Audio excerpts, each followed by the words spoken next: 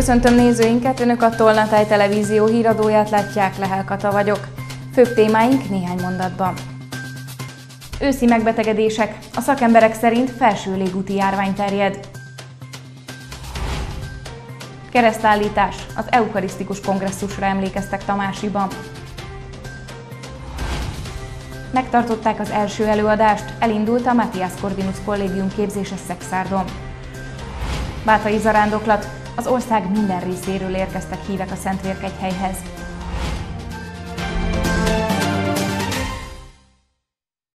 Láz, köhögés, torokfájás. Ilyen és ehhez hasonló tünetekkel keresik fel az emberek az orvosokat az őszi időszakban. Dr. Szabó Gábor megerősítette, hogy nemrég ugrásszerűen megemelkedett a felső légúti fertőzések száma. Többek között a hideg-meleg levegő váltakozása is nagy mértékben igénybe veszi a szervezetet. A házi orvos azt mondja, egyes esetekben a koronavírusos megbetegedés gyanúját sem zárhatja ki. Ősz beköszöntével, illetve az iskola és óvoda kezdéssel egy időben elkezdődtek az ilyenkor gyakori felső légúti fertőzések. Dr. Szabó Gábor, bogyiszlói háziorvos azt mondja, már többen keresték fel torokfájással, köhögéssel, vagy éppen lázzal, de hányás hasmenés is előfordul. Az orvos szerint a helyzetet fokozza, hogy a koronavírus delta variánsa egyre nagyobb számban okoz megbetegedéseket, így egy-egy esetnél ezt a lehetőséget sem zárhatja ki. A kezelő orvosoknak azért erre is kell gondolni, nem csak egy egyszerű vírus fertőzésre.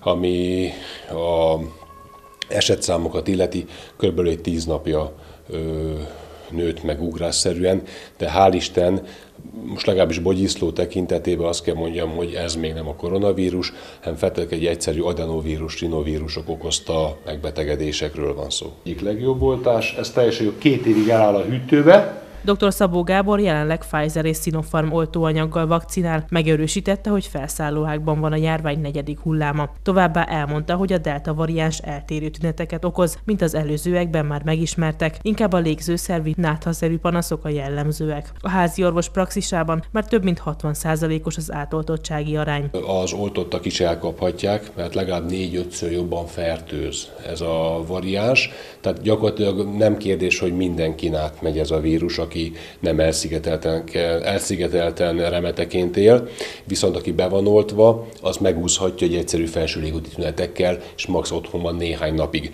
Viszont aki nincs beoltva, az, nagyon, az sokkal rosszabbul járhat. A házi orvos még fogad elsőkörös oltatlanokat, illetve több mint egy hónapja már a harmadik vakcinára is jelentkezhetnek az emberek.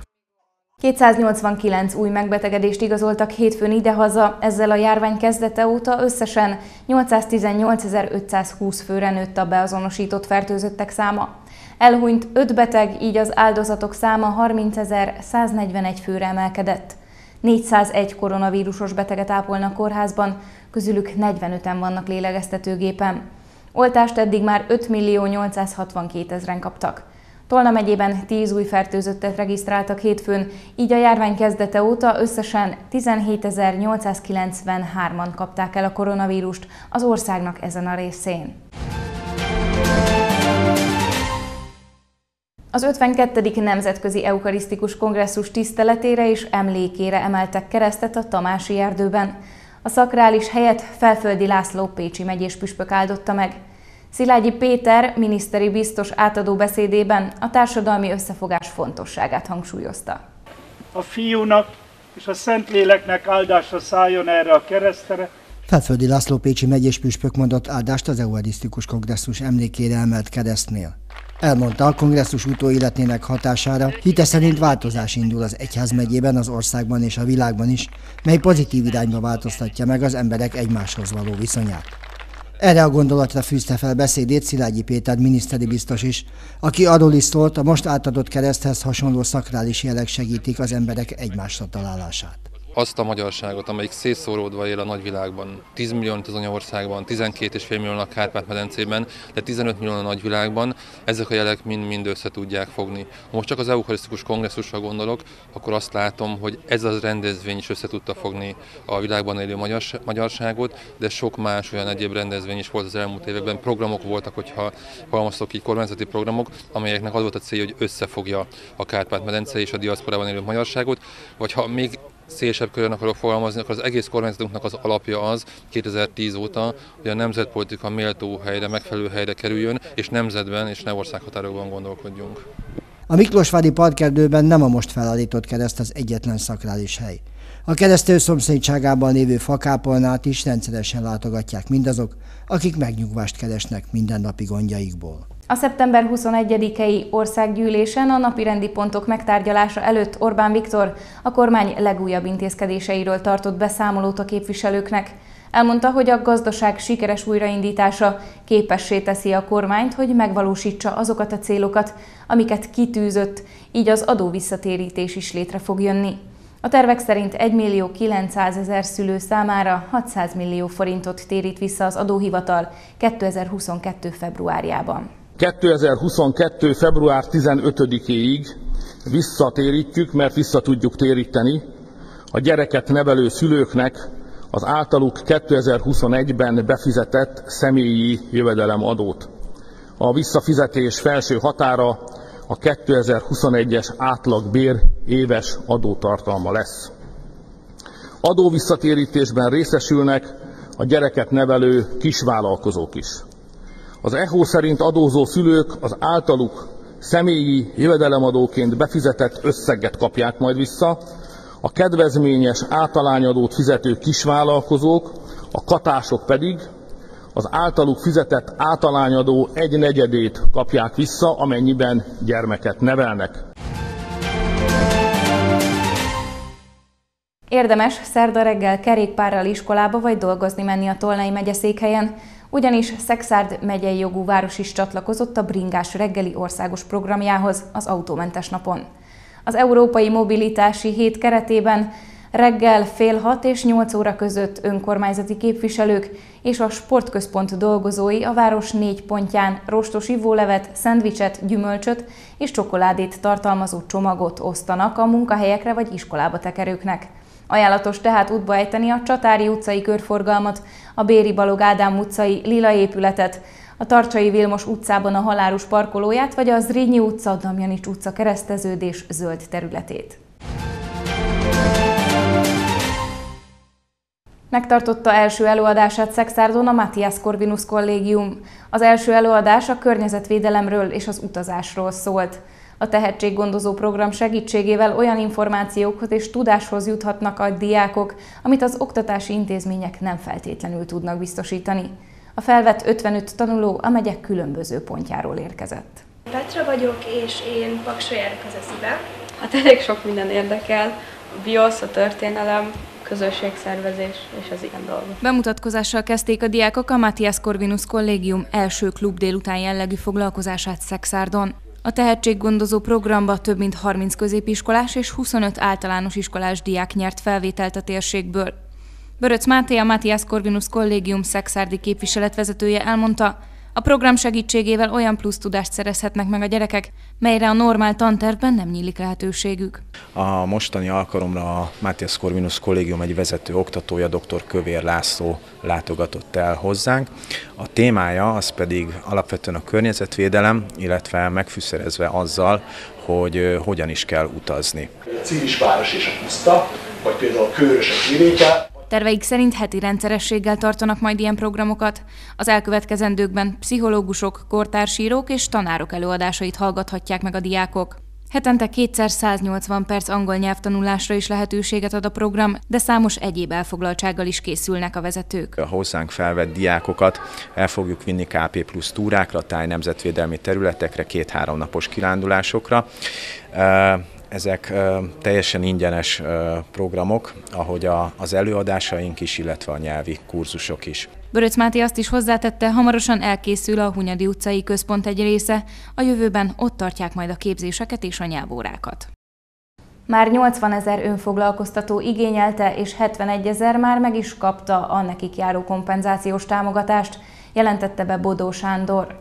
A kormány által biztosított egyszeri támogatásra 17,6 milliárd forint értékben érkezett be igény, a kifizetett támogatás pedig már meghaladja a 15 milliárd forintot, közölte az Innovációs és Technológiai Minisztérium foglalkoztatás politikáért felelős államtitkára.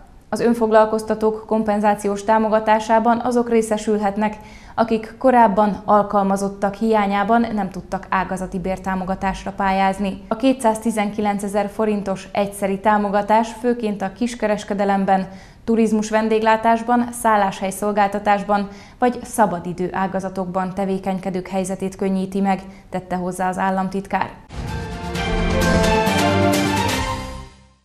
Több százan zarándokoltak el a Bátai Szentvér templomhoz. A legtöbben Bátaszékről és Mohácsról indultak, de az ország minden részéről voltak résztvevők.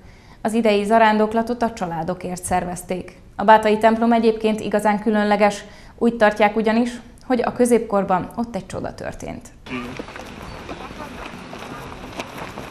Gyalog tették meg a Bátaszékről és Mohácsról a Bátai Szentvér kegyhelyhez tartó utat a zarándokok. Ez Magyarország egyetlen olyan temploma, amiről úgy tartják, hogy a 14. században eucharisztikus csodának adott otthont.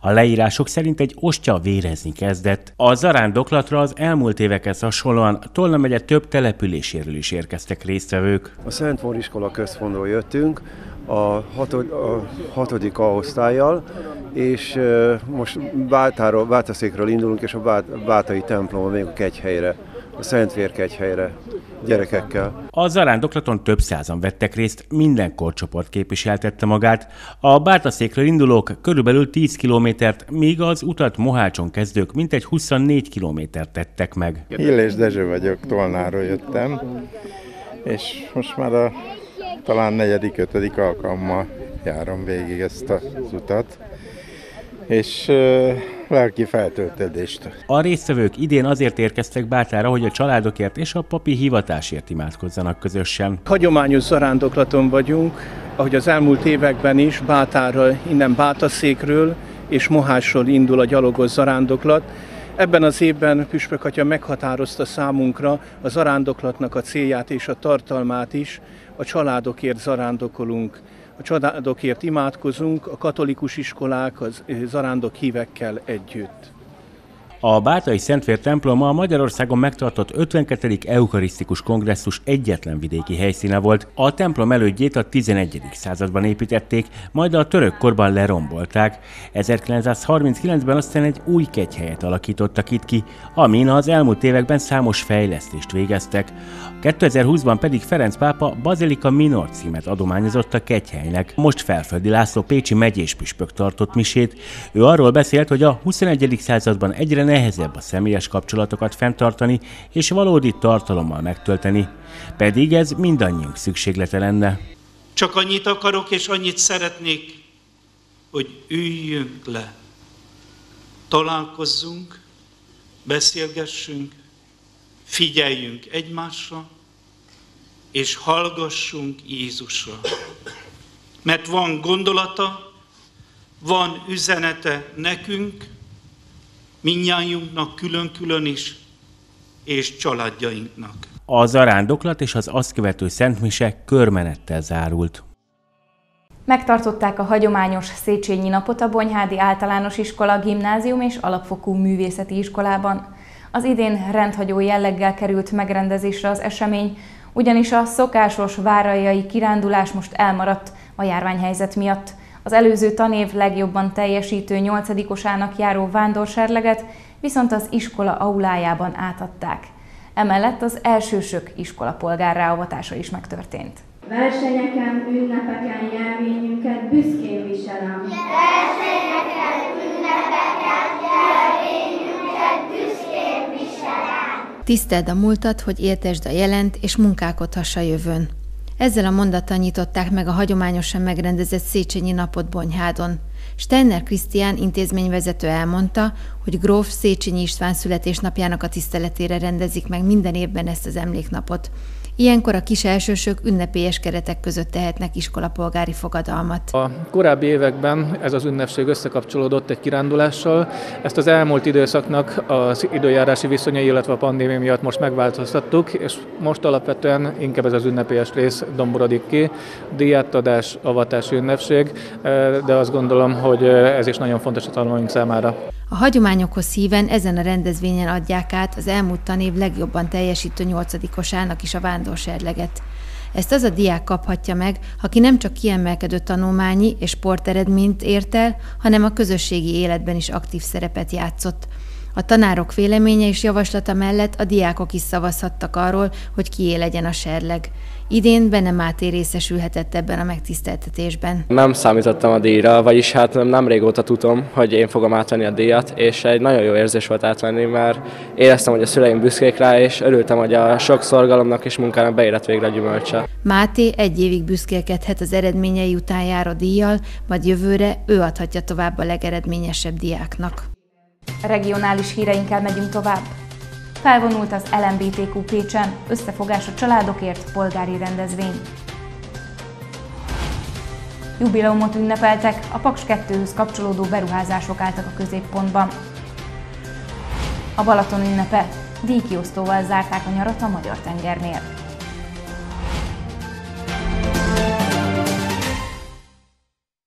Békésen ért véget az első vidéki, Pécsen megrendezett LMBTQ felvonulás. Közel 3000-en vettek részt a Pécsi Pride-on szombaton délután. Délelőtt a hagyományos értékek mellett tüntetett a pécsi polgári közösség, több száz hasonló gondolkodású polgárral a családok védelme érdekében tették ezt a Pécsi Pride helyszínén. A Pécsi Pride-ra közel 3000 érkeztek az ország különböző pontjairól és külföldről is. Az LMBTQ-s rendezvény több civil szervezet hozta létre. A menet a Kossuth térről indult az irgalmasok útján haladva a Szent István tér felé tartott rendőri biztosítás mellett. Közel ezer rendőr őrizte az eseményt. Több belvárosi utcát lezártak az LMBTQ-s felvonulás biztonságos lebonyolítása érdekében. A résztvevők között többen úgy vélték kötelességük kiállni a nemi identitásukkal kapcsolatos jogaikért, ezért vannak most itt az első vidéki rendezvényen, mely végül is békés körülmények között zajlott. Délelőtt a hagyományos értékek mellett tüntetett a Pécsi polgári közösség a Széchenyi téren. Több száz hasonló gondolkodású polgárral a családok védelme érdekében tartottak rendezvényt. Nem csak ma, hanem más hasonló rendezvényeken is meg kell mutatnunk, ahogy itt többször elhangzott, a normális emberi viselkedést és tényleg semmi bajom nekem sem a melegekkel, ha otthon maradnak a négy fal között. Családban vagyok, jelenleg második és harmadik unokámat várom, várjuk, és szeretném, hogy az őletük is olyan konzervatív, felvállaltan, az évszázadok által kipróbáltan ember és családbarát körülmények között történhetne meg. A konzervatív értékeket védő rendezvényen Hoppál Péter, a Fidesz Pécsi parlamenti képviselője szerint a normalitás mellett kell letenni a voksot. Az első vidéki Pride-ot a pécsiek nem kérték. A családok, a gyerekek mellett pedig ki kell állni, hangsúlyozta Hoppál Péter. Magyarország kiáll a gyermekek védelme mellett, mert a nemzeti konzultációban elmondták az emberek, hogy igenis a családnak, a szülőknek a joga, hogy a gyermekek szexuális felvilágosítását végezzék, és semmiféle NGO-nak, semmiféle LMBTQ propaganda szervezetnek nincs helye az iskolákban és az óvodákban. Erről szól, hogy a családok értékeit védjük meg, a családjainkat védjük meg, mert a természetes közege az emberi életnek az a család, és minden támadás, ami a család ellen irányul, az provokáció, amit elutasítunk. Kővári János az Összefogás Pécsért Egyesület elnöke, a Pécsi belváros önkormányzati képviselője kiemelte. A pécsiek többsége nem kérte a Pride-ot, békés élnek, nincs szükségük provokációra, a felvonulás pedig az. Ilyen háttérrel, hogy műveleti területé nyilvánítják a várost, és vízágyukat kell idehozni ahhoz, hogy megvédjék őket. Én azt gondolom, hogy ez önmagáért beszél. A mi rendezvényünk, ez a délelőtti, ez a családokért való kiállás nyitott volt, semmilyen provokáció nem volt, nem kellett hozzá eh, vízágyú, meg, meg nem tudom én lezárni a várost, hogy megtartsuk. Ez egy nyilvános rendezvény. Azt gondolom, ez sok mindent eláll a kettő közötti különbségről. Minden esetre Köszönöm a pécsieknek, akik eljöttek, azoknak is, akik lélekben voltak velünk, és jelezzük, hogy folytatjuk a küzdelmet a normális Pécsért. A délelőtti polgári családi rendezvényen a beszédek mellett hagyományos értékeket közvetítő népdal, néptánc volt látható. A rockzenész énekes a pécsi származású Rudánzsó is fellépett. Paks 2 és a Bodai atomtemető. Többek között ezek voltak a központi témák az idén 18. alkalommal megrendezett tájoló napon. Az eseményen több előadást is hallhattak a résztvevők, melyekben részletesen beszéltek a hamarosan megépülő új atomerőművi blokkokról és a Boda melletti kutatófúrásokról. A rendezvényen ezúttal a Nyugat-Mecseki Társadalmi Információs Ellenőrző és Településfejlesztési Önkormányzati Társulás alapításának 25. évfordulóját is ünnepelték. Jubileumot ünnepel idén a 25 éves Nyugatmecseki Társadalmi Információs Ellenőrzési és Településfejlesztési Önkormányzati Társulás. Az évforduló alkalmából ezúttal Bodán rendezték meg 18. alkalommal a tájolónapot.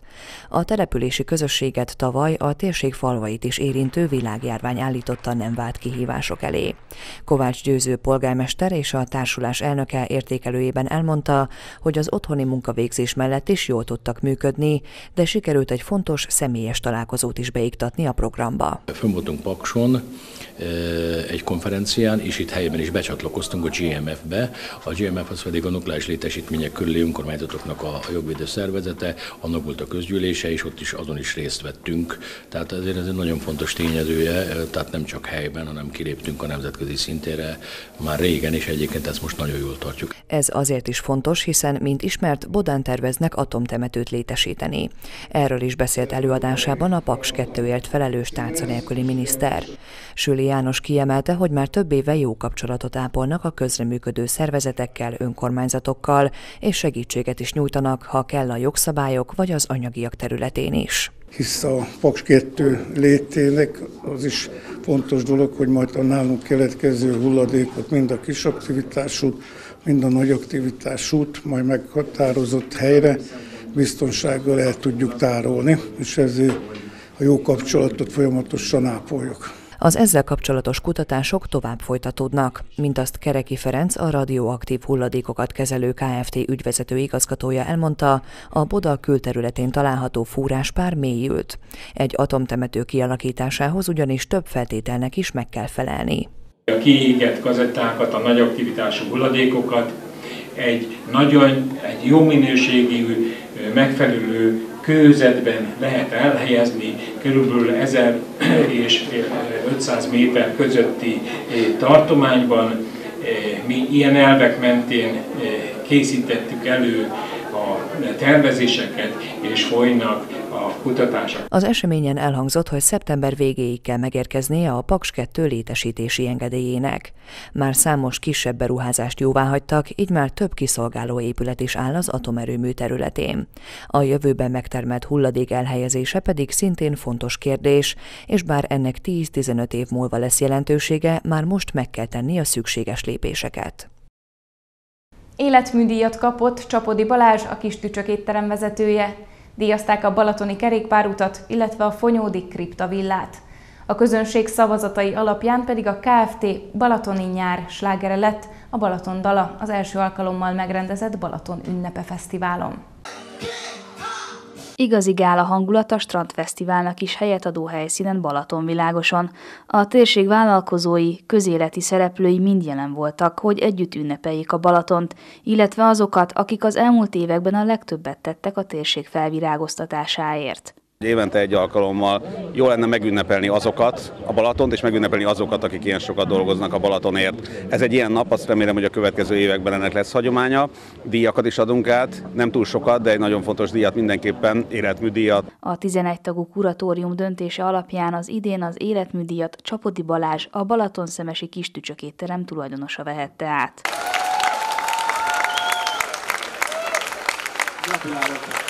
Az életműdíj ellenére a 30 éve vendéglátásban dolgozó szakember még nem tervezi a visszavonulást. Rengeteg tervem van, hogyha tényleg itt az életműdíj ez a, annak szólna, hogy most akkor tegyem le a lantot, nem tervezem, de azért az egészen biztos, hogy hagyom most már a feltörekvő generációt egyre jobban kiteljesedni. A közönség szavazatai alapján megválasztották a Balaton dalát is. Nem más, mint KFT a Balaton az 1985-ös Bornai Tibor dalszöveg ma is mindenkiben különböző érzéseket kelt, csak úgy, mint maga a Balaton. Én nekem a Balaton a misztikum, mélyen és magasan egyaránt.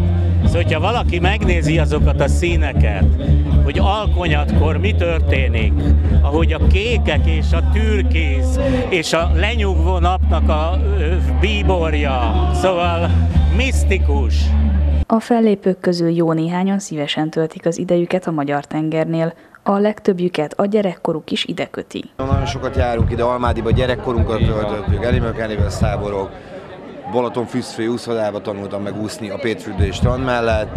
Uh, Én még ebbe az úszodába is úsztam, ami itt most Abandon tud, és Urbex helyszín, úgyhogy uh, itt lakunk a Balatonnál, balatoni gyerekek vagyunk, úgyhogy a gyerekkorunk, a felnőtt korunk, a tinédzserkorunk, és mindenünk is ide köt. A díjazottak és a térség szereplői együtt ünnepelték közös sikereiket és a Balatont a péntekesti rendezvényen. Végül nézzük főbb Tolna megyei híreinket még egyszer röviden. Őszi megbetegedések. A szakemberek szerint felső légúti járvány terjed. Keresztállítás. Az eukarisztikus kongresszusra emlékeztek Tamásiban. Megtartották az első előadást, elindult a Matthias Corvinus kollégium képzése Szexárdon. Bátai zarándoklat. Az ország minden részéről érkeztek hívek a Szentvérkegyhelyhez.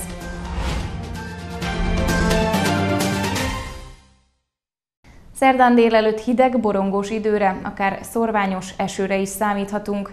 A déli óráktól elgyengül, megszűnik a csapadék, észak felől vékonyodni, majd szakadozni kezd a felhőzet, többfelé kisüt a nap is, de egyre erősödő északnyugati szél támad.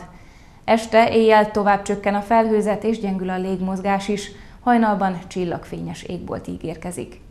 Friss hírekkel legközelebb szerdán este jelentkezünk, addig is kövessék műsorainkat, illetve keressenek minket a Facebookon, ahol naponta friss hírekkel, érdekességekkel várjuk Önöket. Ha látnak valamit, ami Önök szerint figyelemre méltó, akkor azt osszák meg velünk, hogy másoknak is megmutathassuk. Mára köszönöm figyelmüket, viszontlátásra! Música